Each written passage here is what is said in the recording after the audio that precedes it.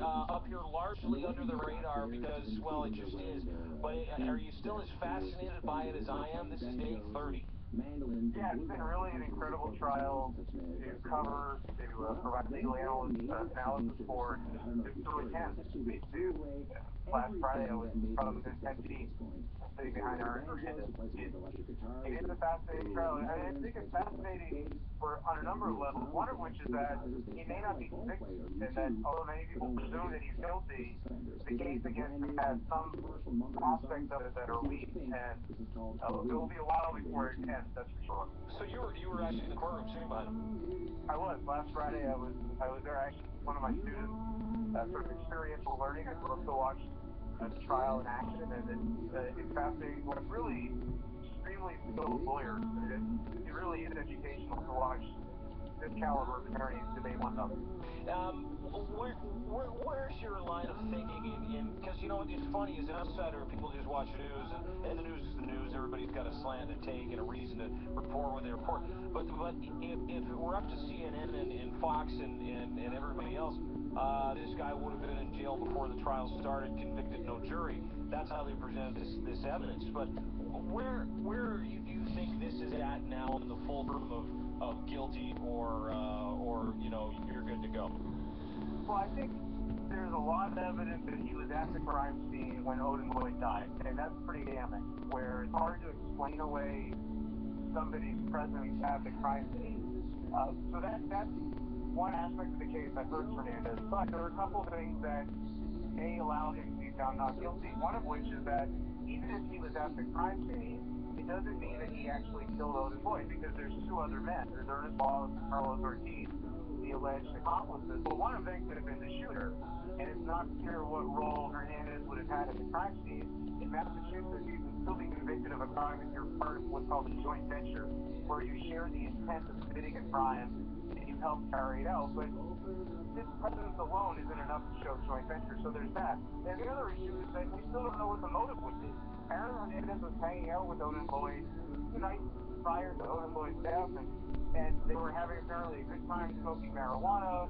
They stayed over at Aaron Hernandez's quote unquote flop house where they got high, drunk, and it doesn't look like there, there was any agreement between them. Now, there is evidence that Hernandez was staring at Lloyd in a, in a nightclub, but you know, that could have been a number of things looking into a dance floor. So you know, it's not a full foolproof case. There's certainly again a lot of evidence that he was at the crime scene and that he may have contributed, but uh, this isn't a case where you, if you're attending you think, oh, he's definitely guilty. You think there's a chance he's guilty, but at least as of now, I don't think jurors are going to certain. What does Hernandez's girlfriend play? What role does she play in all this? She plays a potentially huge role. Shayanna Jenkins uh, is, has been with Hernandez for years. They're engaged to be married She and Hernandez live in the same home in Massachusetts. Prosecutors believe that Jenkins has played an instrumental role. They say specifically, they think that after Odin Lloyd's murder, Hernandez comes home at about 3.30 a.m., hands Diana murder weapon, and then the next day uh, tells her, destroy it, get rid of it, get it out of the house because the cops are coming. And then he was using code language to give her that instruction. There's surveillance video from Hernandez's own home of Jenkins leaving the house through the garage with a garbage bag. Now, it could just be a garbage bag, but she puts it into her car and it drives off. The garbage bag seems to have a box space in it, which could suggest it was an ammunition box. Again, we're speculating. We don't know for sure. But Jenkins, at least as of now, will not testify. Prosecutors gave her immunity which means if she goes on the stand and says, I did all these things I just described, she wouldn't be charged as an accomplice or in conspiracy. But, at least as of now, she won't testify. And if they put her on the stand, can't now plead the Fifth Amendment. Normally, you can plead the Fifth Amendment and say, I'm not going to make a statement that incriminates me. But when you've been given immunity, you no longer can incriminate yourself. So that would leave her with the choice of either not answering questions and the judge holding her in contempt of court, where she would go off to jail for the rest of the trial, or murdering herself, potentially just lying, or telling the truth. Maybe she had nothing to do with it, or say, I don't recall, which is another device that witnesses sometimes use. So whose witness is she then? The state would like, the state would like to call her.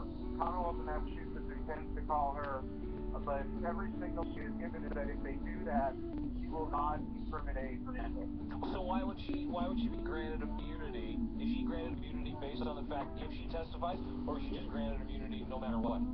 If she testifies, the reason why they gave her immunity is they don't want her to with this stuff. That they want to take away that power of her that she would normally have as a U.S. citizen, where you you're not obligated to make a statement under oath that incriminates. You lose that power if you've been given immunity. What's the most um, sorry, Michael McCann, legal analyst for uh, SportsIllustrated.com. What's the most damning piece or pieces of evidence so far uh, for Aaron Hernandez? So I think uh, some of the damning evidence includes very strong evidence that he was with two men uh, and also Odin Lloyd right before Odin Lloyd's death. There's a lot of surveillance video of Hernandez, you know, seemingly right after the time Odin Lloyd was killed, uh, walking around his house with the alleged accomplices. There's footwear and fresh evidence that reportedly puts Hernandez in the crime scene, although Hernandez's lawyers would say there are real issues with that evidence, but nonetheless, there's evidence suggesting he was at the crime scene. Was his gum there? His gun was on a shell casing, and then the gun is basically this. So Hernandez clearly rented a car, and that car appears to have been used to transport Odin Lloyd. And then later on, a few hours later, about 5 a.m. when they get home, Hernandez returns the rental car to Enterprise Rent Car. And manager at Enterprise cleans out the car the next morning. She finds a shell casing, a piece of chewed bubble gum, and some other things. And she, you know, maybe in hindsight, is sure the prosecution regrets. Instead of calling the police, she threw them out into the dumpster. And when she threw them out into the dumpster, the gum joined with the shell casing. Then watched the news later and noticed that there was a murder, and she called the police. I don't know if there's anything to do with it, but I threw the stuff into a dumpster. The police go to the dumpster, and by that point, the shell casing has been uh, it's joined with the bubble gum. Hernandez's DNA is allegedly on the bubble gum. Now his DNA is on the shell casing. His lawyers are saying you can't assume that the shell casing has anything to Hernandez because the gum, the DNA on the gum would have transferred to the shell casing. Uh, Michael, we got about 20 seconds here. Will we see Belichick or Brady at this trial? Possibly. There's certainly a chance they will. They're really not that important in terms of the case. I mean, obviously they're celebrities. You know, they would get a lot of attention by virtue of who they are, but they, they don't possess a great deal of information that's going to advance the case. They make a lot of timeline, but they're not going to be important witnesses other than the fact that, you know, they're Bill Belichick and Bob Kraft. But right now they're not scheduled to go on.